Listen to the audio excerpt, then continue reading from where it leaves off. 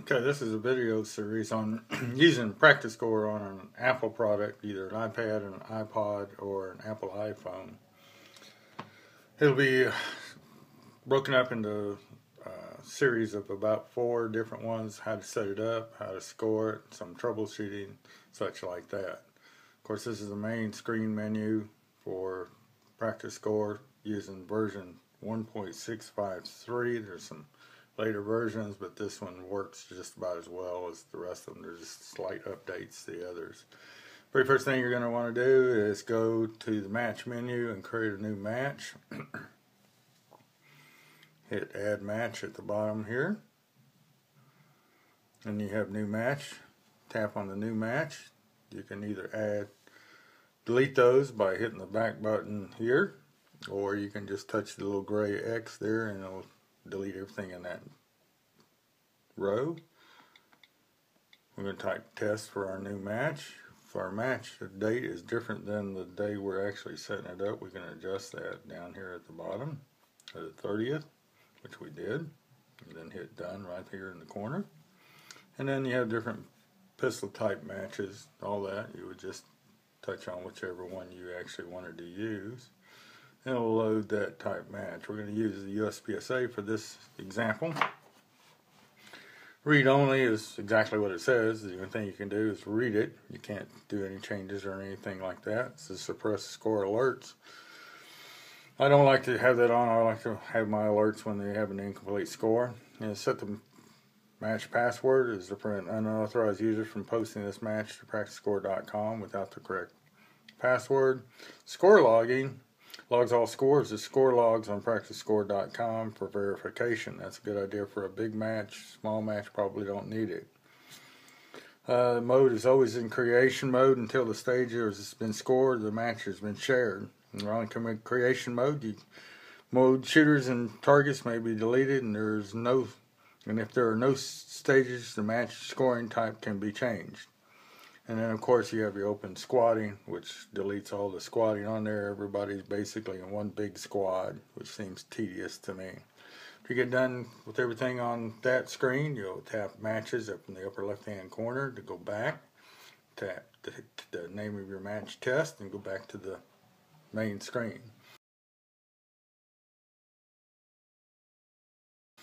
The next thing you're going to want to do is build some stages for your match since you have your match included in there. Hit tap build stages. You'll see the build stages screen comes up. As many stages as you would like for your match. uh, you notice that actually stage one, stage two, stage three as you're done. And then go what you have to do after you've added enough all the stages for your matches go back and add details in the next subscreen for each stage. There's stage one. You can leave it as stage one or you can leave it as hit it and just name it as another stage or leave it as stage one and just add a description as such like Sam's stage. There you go. Uh, scoring type is Comstock as a default. You can change that by touching on it. It'll go to Virginia or fixed time. And so we're going to have Comstock on this one. Number of strings. You may have a classifier that has multiple strings on it. Just touch the strings, add the number of strings to it, tap to enter. Paper targets. We're going to have three paper targets on ours.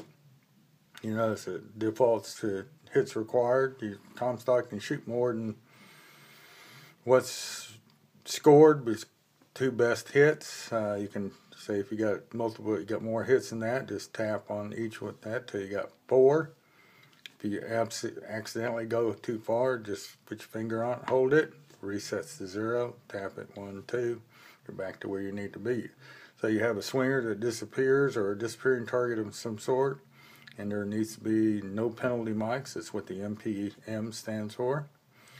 Then you can just tap that and he'll have two no penalty mics on target two. Okay, once you've done that, go back to the top left hand corner and tap edit stage. That'll bring you back to the uh, stage detail screen. So we have a couple of poppers in there. Just touch this deal, hit two, hit enter. Uh, we got a couple of no shoots in our stage, so we're going to do that.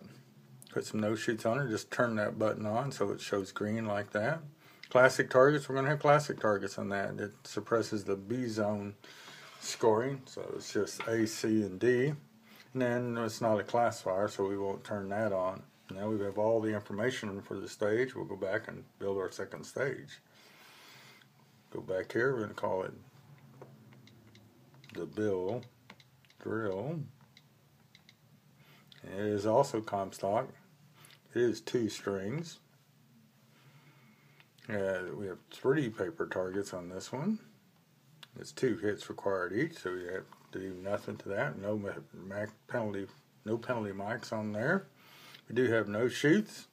This one is not classic targets; it's metric targets, and is a classifier. You notice that it's going to ask you for numbers only for the classifier code. Classifier code we're using. This information up here has to match this. It won't automatically put in the correct information. We're going to use O0O. You need to put in the hyphen 08. And then we'll hit this still there. And so this six rounds and a minimum of 30 points. Okay. Down. That adds that up. Let's see here.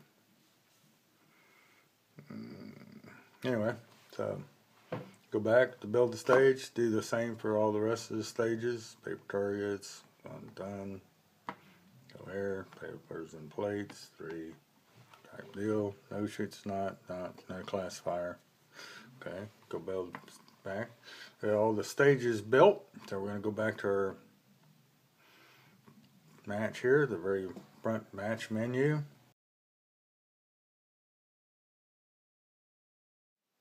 Okay, you're going to see down here the stage is grouped. You know, say yes or no.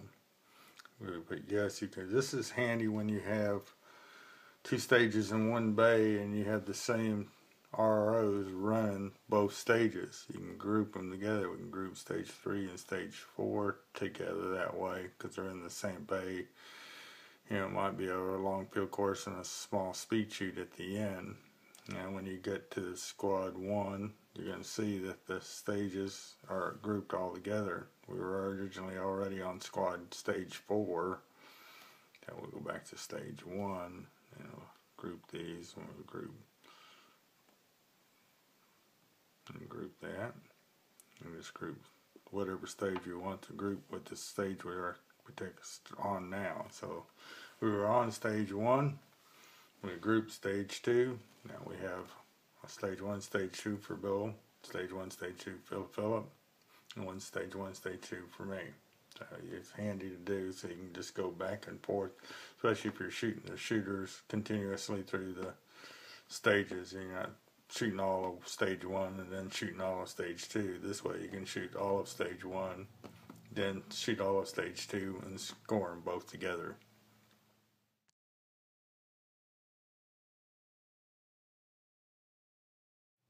Next thing we're going to have to do is enter shooters and squads. Before you start adding shooters, the best thing is to make sure your match divisions are set up. If you notice here you have limited, limited 10 production and all that. It usually comes up all checked. You have to uncheck. So limited and LTD is the same, but if you're downloading it from match sign up or PractiScore, it could be all spelled out or it could be just the letters like it is there. We're doing it from match sign up, so our download is from all the words. So we're going to have production, limited, limited, and revolver and single stack and recognized in our match. They're highlighted in a tan color and they're checked all down the side. Go back to the top left hand corner and tap shooters match classes. The match classes, you have all these that come up checked like that. USPSA, there's no X. You don't know what that is. We don't have any unclassified shooters, so we're not going to recognize that. All the A, B, C, D, Grandmaster, Master is checked. One last thing is the categories. You have ladies, junior, senior, super senior, law enforcement, military, and foreign. If you wanted to add you check lady, junior, senior, super senior. You don't have any law enforcement, military, or foreign. But we want to add a new category. We can add a new category to our match by just tapping that. You notice the dialog box comes up. And we're going to put in elder division, which is higher than super senior. Notice it shows elder now. And we just go to the top, tap done, and then highlight elder so it will show up in our match. You can make as many categories as you'd like. You can also delete categories. You can take care, take out the elder class. We'll take it out. Just tap the minus sign and hit delete. It'll ask you if you're sure you want to delete this category. It won't be available in a new match unless you add it back. And the question and the answer is yes. Well, we're done. That. Um, we're correcting all our categories, so we'll go back to our shooters. Match categories are done, match classes are done, match divisions are done. First shooter is always added from the add shooter with this gray box. As soon as the first shooter is added, though, it will not be there. I will show you that. First name, we're going to put my name in here. You notice this dialog box comes up with all the Roberts in it. And I can select from which Robert I want here. Once I do that, which I'm already listed in here, it'll add all my information, which, you know, I'm shooting single stack, I'm a B class, I'm a major power factor, and I'm not in a squad yet, okay? Squad people at the time, as soon as you touch of one or two or three or whatever, it creates that squad in the background. Uh, let's see what's um, senior category, and and I actually could be lady if I was so happened. Well, the example is that you can be more than one category. Category you can enter more than one category at a time. So hit save doesn't show it on the category line, but it's saved in the background. Region, email, and phone. I don't usually put that in for a club match. I would put that in. Wouldn't necessarily put the engine region in, but the email and phone I would put in for a major match because sometimes you need to call these people or whatever afterwards. Uh, disqualified, you don't do anything on that. That'll automatically update if somebody is DQ'd and also list why they were DQ'd. Walk on we'll cover later. Okay. It'll be something you'll have to do when you've already started the match and have to put somebody in it. Okay. So you notice my name's up there, but the add shooter box is gone. Is now down in this lower right hand corner. It says add shooter number two and a plus sign. So add shooter number two. Show you how to add somebody that's not in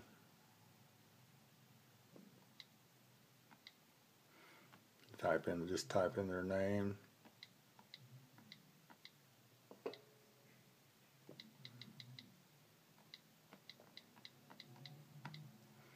Phillips Phillips okay and then you would of course type in a USPSA number if they had one or I usually put pending in there if for some reason they they don't have a USPSA number, and then of course the division be different. Let's say production. You notice that production it still lists the power factor as major, even though all production people shoot minor. He's a C class, or he's not. Okay, okay you want to make sure and change that each time because that never changes. If it goes back to open or something, they're limited.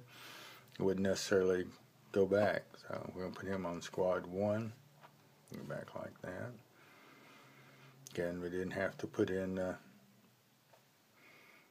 numbers or uh, phone numbers or stuff like that. Okay, let's see what else we can put in here. Oop, too many L's there.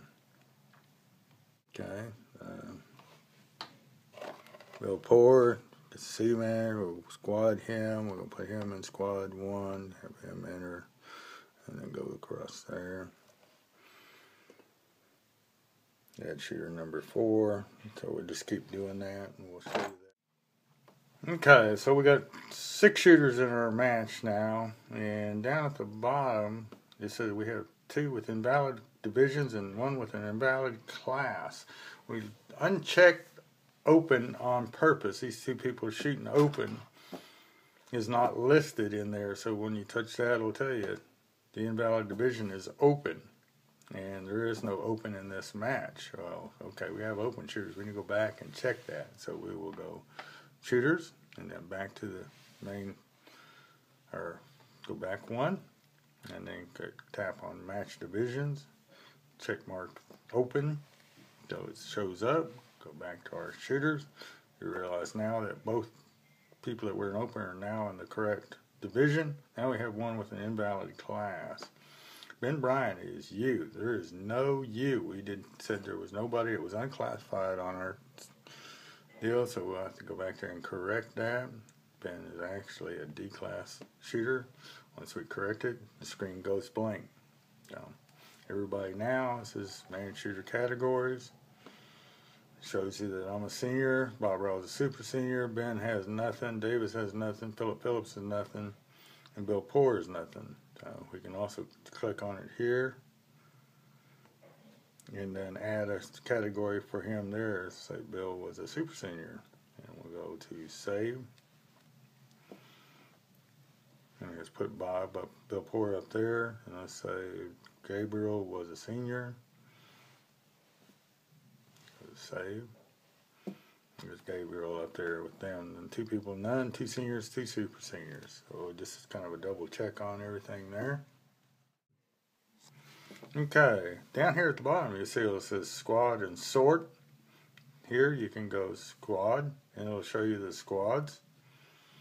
You got squad 1 and squad 2. Squad 1 has Philip Phillips, Bill Poor, and me. Squad 2 is Bill Ben Bryan. Oops, cancel. Don't touch it. Bob Royale. Up here is one not squad. Davis Gabriel is not squad. You tap on Gabriel, put him in squad 3, 2, or Okay, and it automatically moves them there so you can see where your squadding is, how many people are in your squad. Squad number two has three. Squad number squad number one has three also. People, you know, move people around squad to squad that way. It's also handy at the shooters meeting to tell people, oh, okay, squad one is so and so and so and so, squad two so and so so and so so and so, and like that. You also have this sort button. You can sort the names in last name first name, shooter number, or none. That's the order that they'll appear here. You notice here they're all by alphabetical order. So, after you get all your squadding in, then you can export your squad list so you can print it. It's basically what it looks like right here. Of course, this is a pretty small match or whatever. But you can print this out so you can post it on somewhere where people can see where they're squadded for a large squad or comes in handy instead of people asking you what squad they're in you can just point to the thing what was posted out there you know at the bulletin board or whatever so that's what the uh, export squadding looks like you got a deal up here where you can email it to yourself and email it to all the shooters or you can open it in another uh, program or you can just print it from your iPad to a AirPrint uh, printer. So just go back there.